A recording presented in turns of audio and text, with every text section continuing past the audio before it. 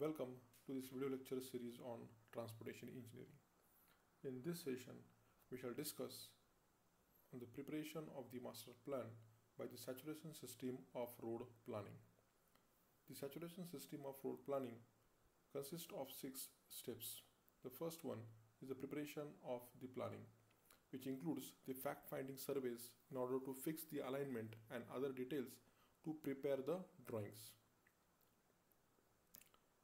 The second step is the plan 1 or the phase 1 which is includes the uh, general area plan with the existing road networks, the topography of the ground, the uh, drainage structures available, then the uh, rivers, the canals, the nalas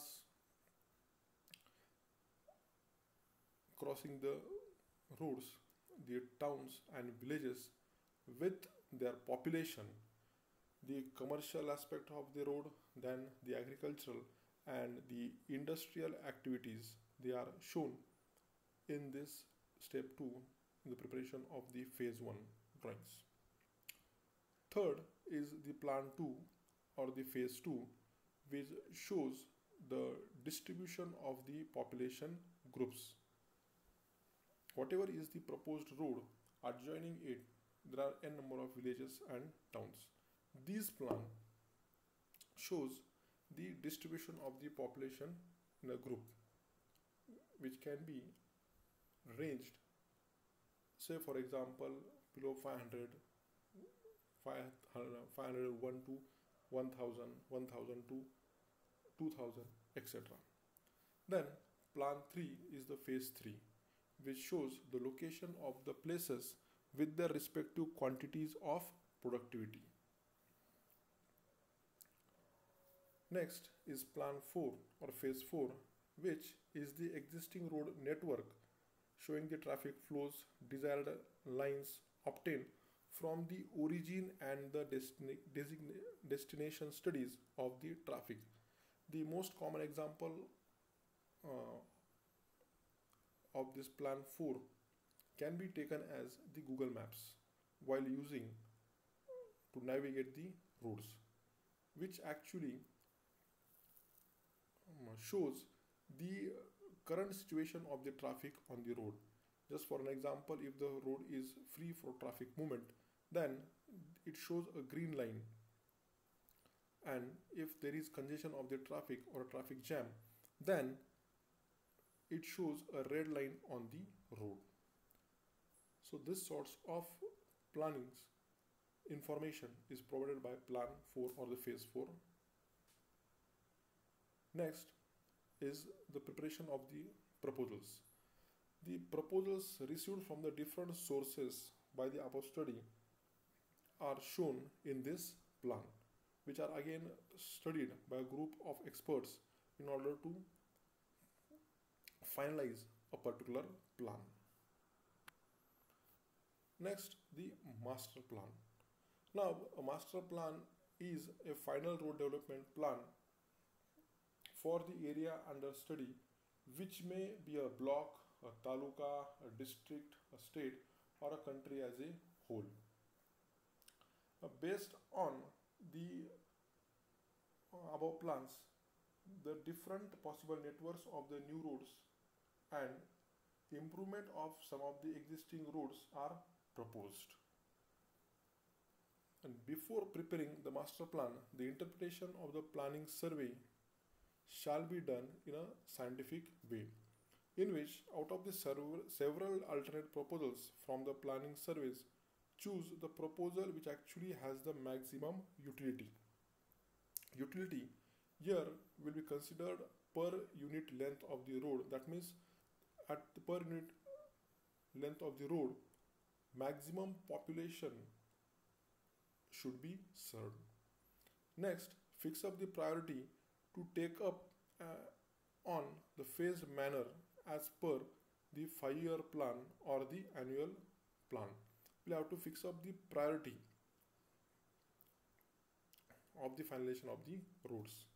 Third, the traffic study to identify the congestion which need to be attended immediately to select the type of the pavement and the control devices. Here, the type of pavement that might be in regards with the flexible pavements, the rigid pavements, then again selecting the design width of the pavements and the control devices. Now that might be the traffic signals, then the provision of the speed breakers, the dividers, etc. Next is the comparison on the economic activities of the different areas. What sorts of economic activities are um, will be served on the proposed plan that will have to compare for the different proposals of the road to reach from a destination A to destination B. And lastly, analyze analyzing the fact findings for the future trends in the development of an area, the growth in its production and population, which in turn will generate higher traffic volume. One will have to forecast the total growth in the production and population of the area while designing and planning for a proposal of a road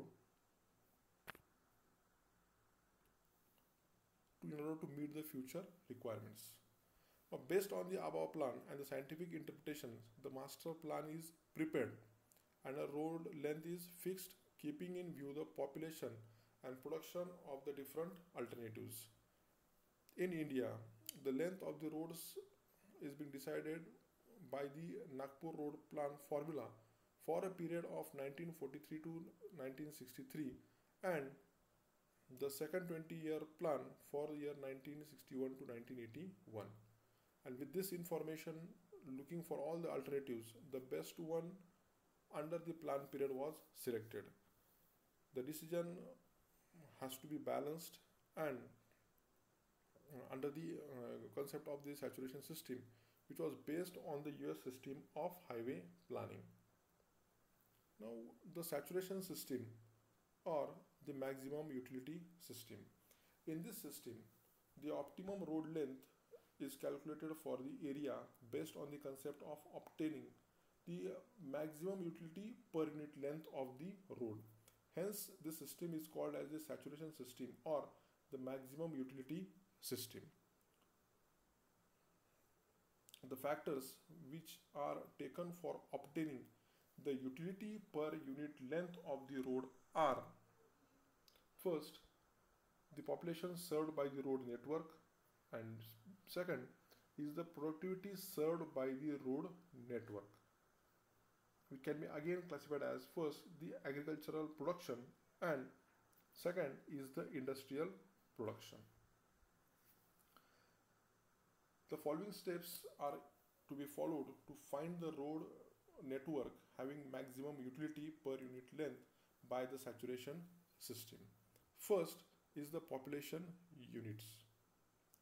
Now, since the area under the consideration may consist of villages and towns with their different populations, it is required to group this into some convenient population ranges and to assign them some reasonable values of utility units to each range of the population served.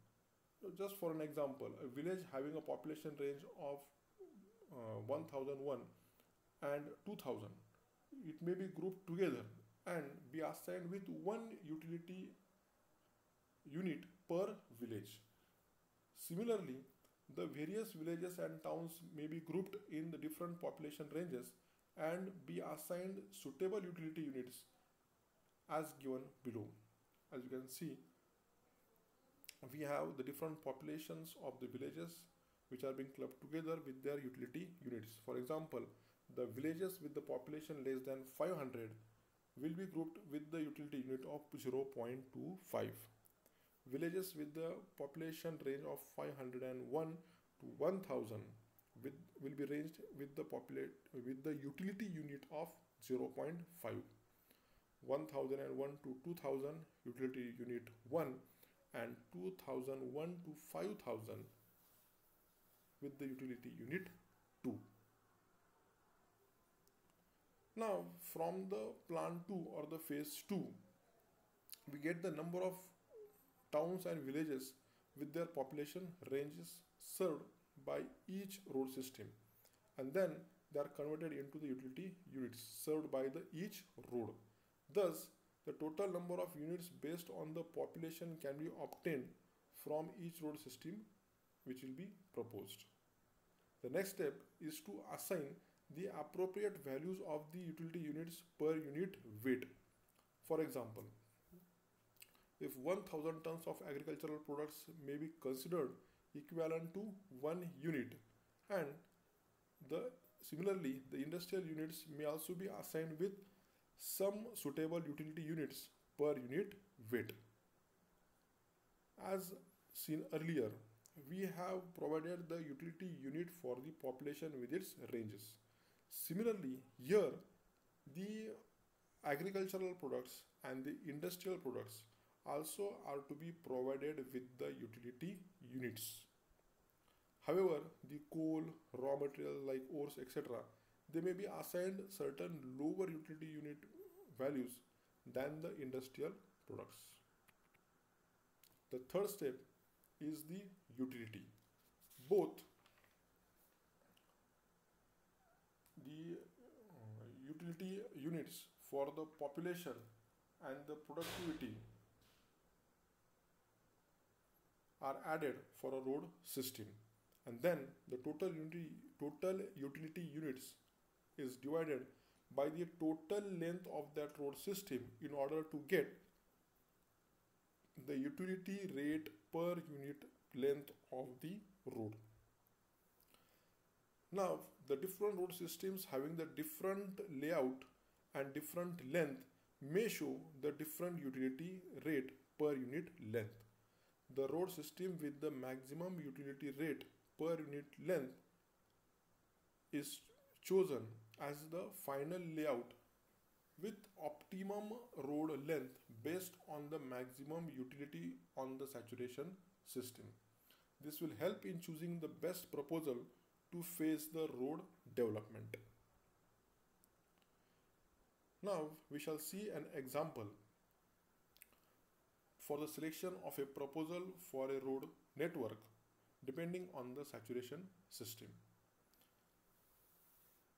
The statement goes as follows calculate the utility per unit length for each of the systems and indicate which of the plans yield the maximum utility based on the saturation system.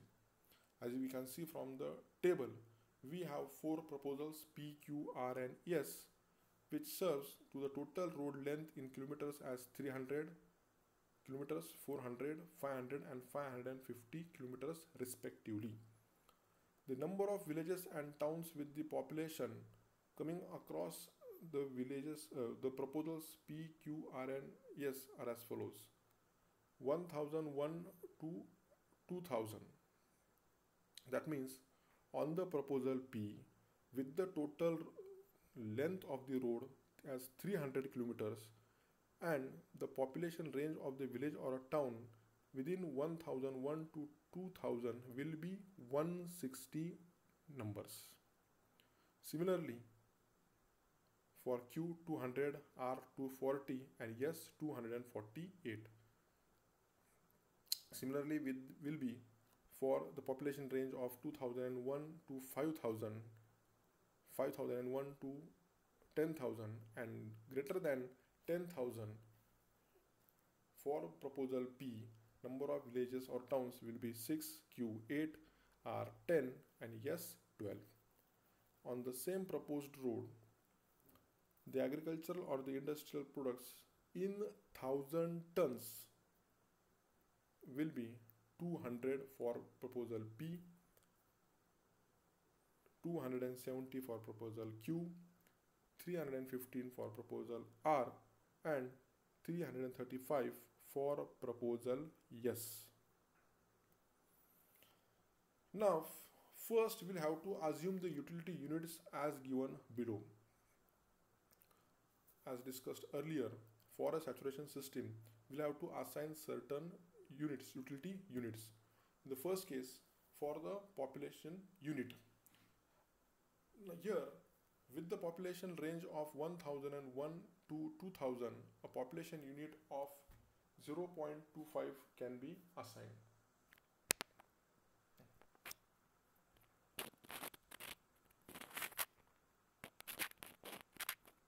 For the population range of 2001 to 5000, a utility unit of 0.5 can be assigned and 5001 to 10000 a utility unit of 1 can be assigned. Population greater than 10000 the population unit will be 2.5 next for the productivity unit. For 1000 tons the productivity unit will be assumed as 1 now to solve the problem for the proposal p with the road length as 300 kilometers. The population utility unit for the population range of 1001 to 2000 can be found out as 160 into 0.25 that equals to 40 as 160 is the total number of groups of villages with this population range of 1001 to 2000 next population range of 2001 to 5000 80 into 0.5 that equals to 40 5001 to 10000 30 into 1 that equals to 30 and with the population range greater than 10,000 that is 6 into 2.5 that equals to 15 if we add all this for the road system P a total of 125 utility units will be obtained. Similarly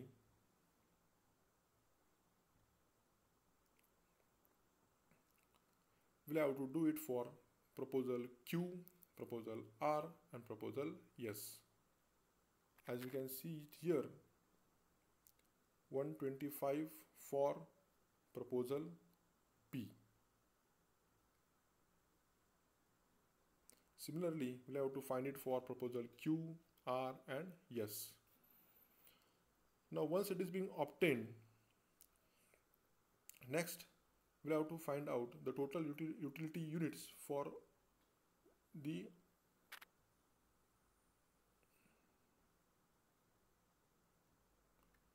uh, agricultural and industrial products in thousand tons.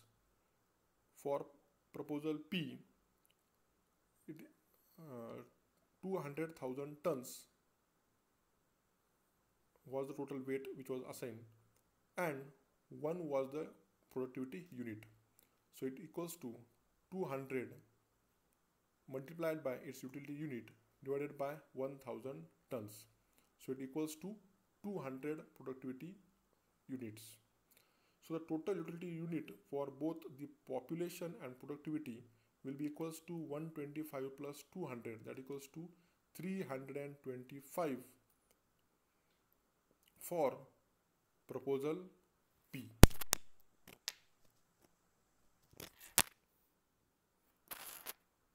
Similarly, can be found out for Q, R and S. So the utility unit per unit length will be equals to the total utility unit divided by total length of the road that equals to 325 divided by 300 that equals to 1.01 if you see it here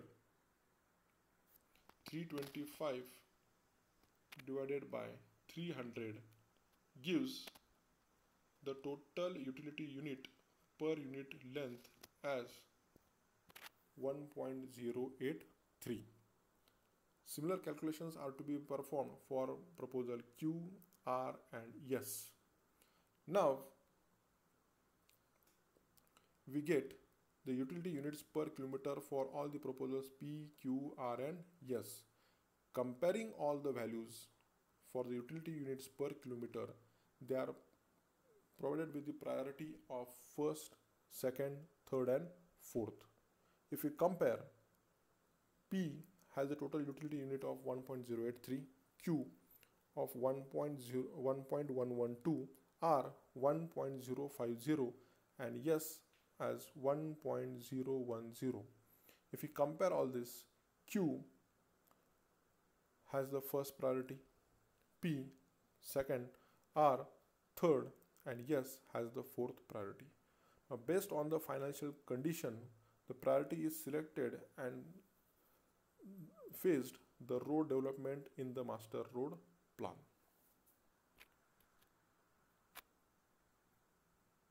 With this, we shall stop in this session. Thank you.